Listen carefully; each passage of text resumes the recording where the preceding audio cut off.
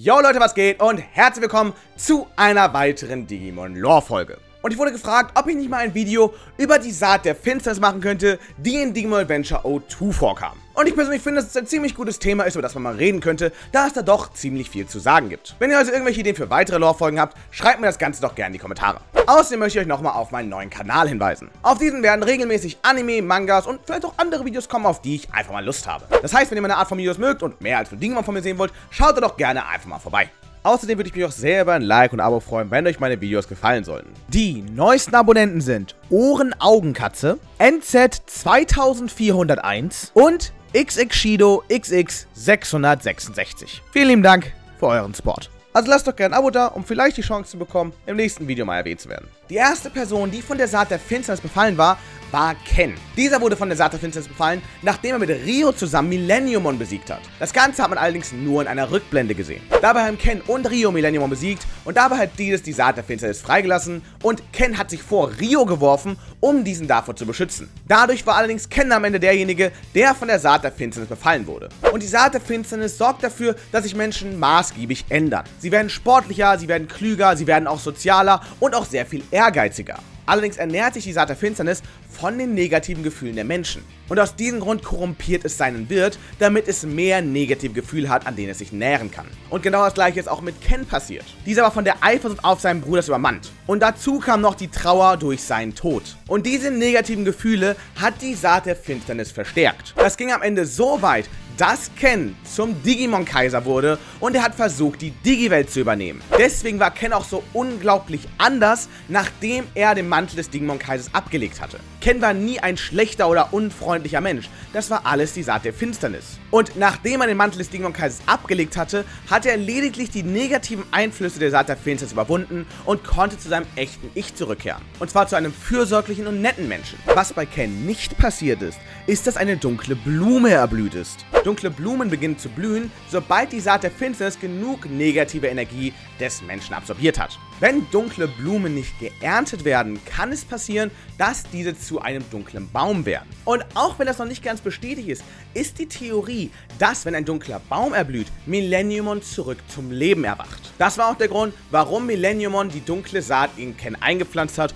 um eines Tages zurückkehren zu können. Allerdings kann die dunkle Saat zu wesentlich mehr genutzt werden, als Millenniumon zurück ins Leben zu holen. Und da kommt Yukio Oikawa ins Spiel. Dieser wollte nämlich die Saat der Finsternis nutzen, um in die Digi-Welt zu gelangen. Das war nämlich sein Traum, seitdem er bereits ein Kind ist. Der beste Freund von Oikawa war damals der Vater von Cody. Diese hatten gemeinsam davon geträumt, eines Tages in die Digi-Welt zu gelangen. Und sie hatten es sogar geschafft, Kontakt mit der digitalen Welt aufzunehmen. Sie verbrachten früher Stunden damit, Videospiele zu spielen und somit in Digimon zu interagieren. Und ihre Freundschaft blieb bestehen. Oikawa wurde ein erfolgreicher Genetiker und arbeitete sogar mit dem Vater von Ken zusammen. Und währenddessen wurde der Vater von Cody ein Polizist. Und als Erwachsene versuchten sie immer noch in die digitale Welt zu gelangen. Allerdings trat eine Tragödie ein und der Vater von Cody wurde im Dienst angeschossen und verstarb an seinen Verletzungen. Das Ganze hat Oikawa auf einen dunklen Pfad geführt. Er wusste nicht mehr, was er mit seinem Leben anfangen soll und war ziemlich deprimiert. Doch wie es der Zufall so will, öffnete sich in diesem Moment ein Tor zur Digi-Welt vor seinen Augen. Doch bevor er überhaupt realisieren konnte, was überhaupt passiert ist,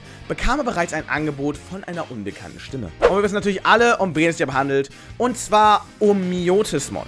Dieses bot Oikawa an, mit ihm zusammenzuarbeiten und ihm einen Weg zu zeigen, wie er in die digitale Welt gelangen kann. Und von da an hat Miotismon das gesamte Verhalten von Oikawa manipuliert. Mit der Hilfe von Miotismon und seinem Wissen als Genetiker schaffte er es mit seiner eigenen DNA, eigene Digimon zu erschaffen. Und das waren Aokenimon und Mamimon, welche nun Oikawas Befehlen folgten. Und wie gesagt, arbeitete Oikawa mit dem Vater von Ken zusammen. Aus diesem Grund war er auch bei der Beerdigung von Kens Bruder dabei. Und dort hat er Ken entdeckt und durch Biotismon hat er erkannt, dass sich in Ken die Saat der Finsternis verbirgt. Letztendlich schickte Oikawa Ken eine E-Mail, welche ihn letztendlich in die Welt der Finsternis führte. Und dort hat Ken dann auch sein schwarzes Digivice bekommen. Oikawa war derjenige, der Ken die Technologie für die schwarzen Türme und für die dunklen Ringe gegeben hat. Und nur durch diese Technologie versuchte Ken die Digi-Welt zu erobern. Der Plan von Oikawa war, dass wenn Ken die Digi-Welt erobert, sich dadurch die Verteidigung der Digi-Welt ausdünnen würde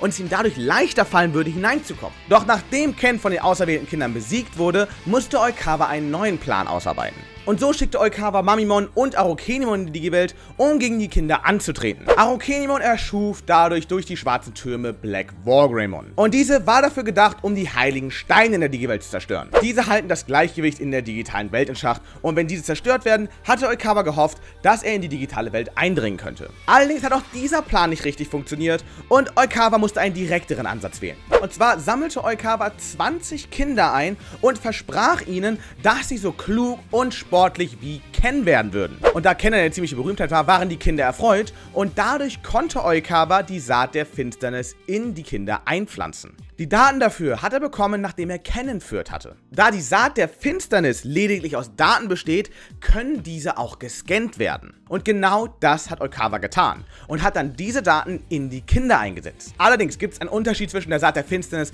die in Ken war, und die Oikawa nun in die Kinder eingepflanzt hat. Der Kopiervorgang war nämlich unvollständig und Oikawa muss die Saat der Finsternis manuell einsetzen. Dadurch ist die Saat der Finsternis in den Kindern wesentlich weniger anpassungsfähig als die in Ken. Eigentlich dachte man, dass die einzige Möglichkeit ist, die Saat der Finsternis zu entfernen, ist die dunkle Blume zu entfernen. Und deswegen wird auch angenommen, dass nur Oikawa dazu in der Lage ist, die dunklen Blumen zu entfernen. Doch Ken hat es von sich aus geschafft, die Saat der Finsternis zu entfernen. Und Ken glaubt, dass es daran liegt, dass er erkannt hat, dass seine Eltern ihn tatsächlich lieben und sich um ihn sorgen. Denn zuvor dachte er, dass sie sich bloß für seinen Bruder interessieren. Und dass dadurch die Saat der Finsternis den Effekt über ihn verloren hat. Aber Oikawa ist nicht der einzige, der Pläne mit der Saat der Finsternis hat. Auch Dämon, ein Gegner, der in Digimon Adventure O2 vorkam, möchte die Saat der Finsternis für sich selbst nutzen. Allerdings ist nicht ganz bekannt, warum er diese nutzen möchte.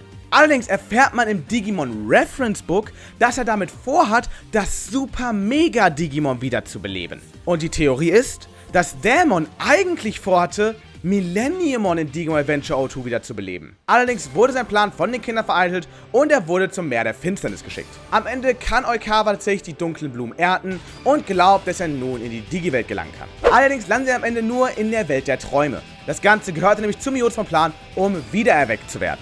Und auch wenn die Kinder es am Ende schaffen, Miotspon zu besiegen, sieht es für Oikawa nicht gut aus. Er hat zu viel Kraft verloren und ist leider dem Ende sehr nah. Trotzdem schafft es Cody ihn noch mit letzter Kraft in die Digi-Welt zu bringen und er trifft seinen alten Digimon-Partner wieder. Okawa hat es endlich geschafft. Nach so vielen Jahren konnte er in die Digi-Welt gelangen und nun kann er friedlich von uns gehen. Und das war jetzt die Lore hinter der Saat der Finsternis. Auch wenn diese eigentlich von Anfang an ein großer Punkt in Digimon Adventure O2 war, hat man in meinen Augen noch wesentlich mehr Potenzial von diesen auszuschöpfen. Wie gesagt, ist es wahrscheinlich möglich, damit Millenniumon zurück ins Leben zu holen und das würde ich sehr gerne in einem weiteren Film oder einer weiteren Staffel von Digimon Adventure O2 sehen. Es ist ja bereits angekündigt, dass ein weiterer Film von Digimon Adventure O2 kommen wird und es würde mich sehr freuen, wenn dieser Punkt wieder aufgegriffen wird. Aber was sagt ihr dazu? Auch wenn ihr Digimon Adventure O2 vielleicht gesehen habt, wusstet ihr eigentlich, was es genau mit der Saat der Finsternis auf sich hat? Schreibt mir das Ganze doch einfach mal gerne in die Kommentare. Ansonsten würde ich mich auch sehr über ein Like und Abo freuen und wir sehen uns beim nächsten Mal.